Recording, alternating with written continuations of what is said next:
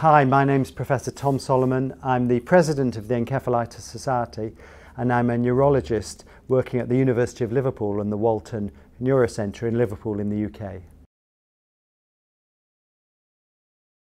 Encephalitis is, is, inflammation and swelling of the brain and in infectious encephalitis this is caused by an infection, uh, a bug, a microbe in the nervous system. That might be a bacteria or a virus or another infectious agent. One of the biggest groups are viruses which are transmitted by mosquitoes, such as Japanese encephalitis or Zika virus or dengue virus.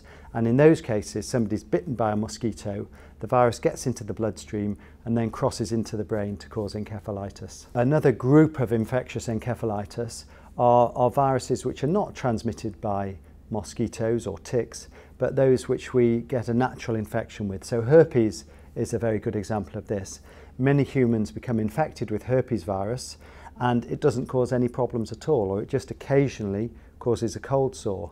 But in some unfortunate people, the virus, instead of just causing a cold sore, goes right up into the brain and causes a cold sore on the brain, and that's what herpes encephalitis is. There's another group of infectious encephalitis when it's a bacteria that's causing the problem. Usually it's a very small intracellular bacteria, something like a rickettsial bacteria, uh, for example, scrub typhus. And again, the bacteria gets into the nervous system and causes the inflammation and the swelling, which is characteristic of encephalitis.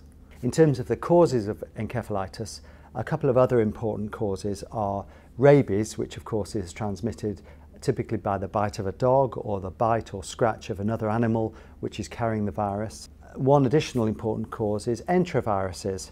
Now, polio is the, is the classic example of this, but this has mostly been eradicated now. But there are other related enteroviruses like enterovirus 71, which causes hand, foot and mouth disease. This is a disease with vesicles and rashes, um, but also sometimes, again, the virus gets into the brain and causes encephalitis.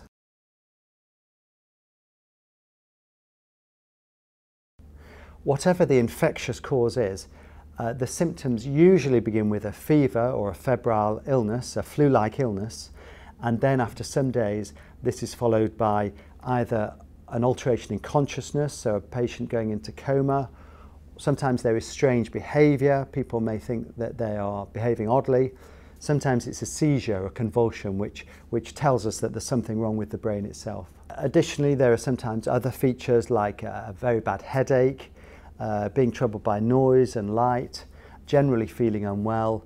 All of these can be symptoms of encephalitis. But the key thing is that uh, it goes from being somebody who has a flu-like illness or a febrile illness, that could be any number of, of, of causes.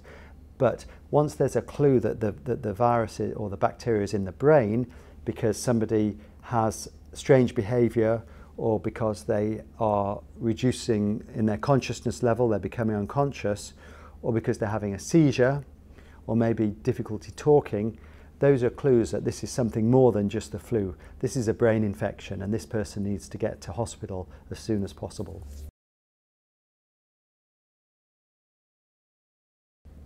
To diagnose encephalitis, the key investigation is the lumbar puncture.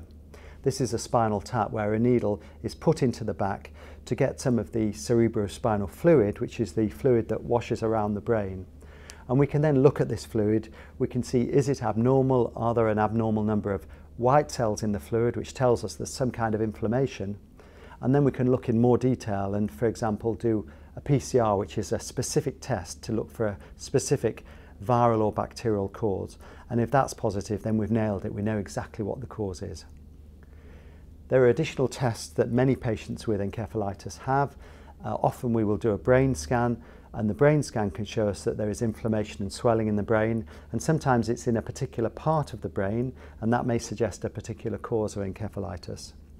So a lumbar puncture and a brain scan, those are the key tests and then often there are also blood tests uh, there may be tests of the urine or the stool because sometimes there are clues there as to a specific cause.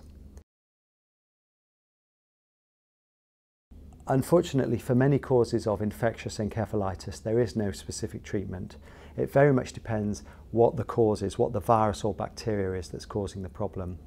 If it's herpes simplex virus, which is a common sporadic cause of encephalitis, then there is treatment. There's acyclovir treatment. This is an antiviral drug we give intravenously, and this has been shown to be very effective in controlling encephalitis caused by herpes simplex virus. If it's a bacterial cause like scrub typhus, then again there are antibiotic uh, drugs, antibacterial drugs.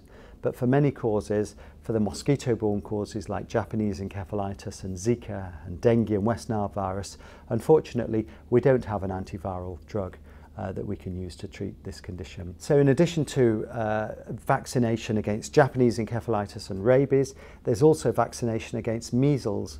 We have a very good vaccine for measles, and yet measles uh, is one of the causes of viral encephalitis. So it's really important that people use the vaccines that are available and I, I very strongly believe in, in the use of vaccines to prevent encephalitis. The other important aspect of treatment, once somebody is over the acute phase, once they're over that very short period where they're very sick for a, a few days or a few weeks, is rehabilitation. We need to get them back into the community that they came from. We need to support them if they're having language problems. We need to support any physical problems. So uh, rehabilitation is a very important part of the treatment of encephalitis overall.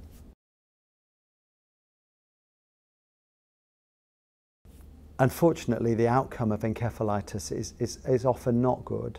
It depends a little bit on the cause, but broadly speaking, uh, from 10 to 20% of patients will sadly die from encephalitis. And those that survive, uh, among them, there will be a high number who have complications uh, or sequelae.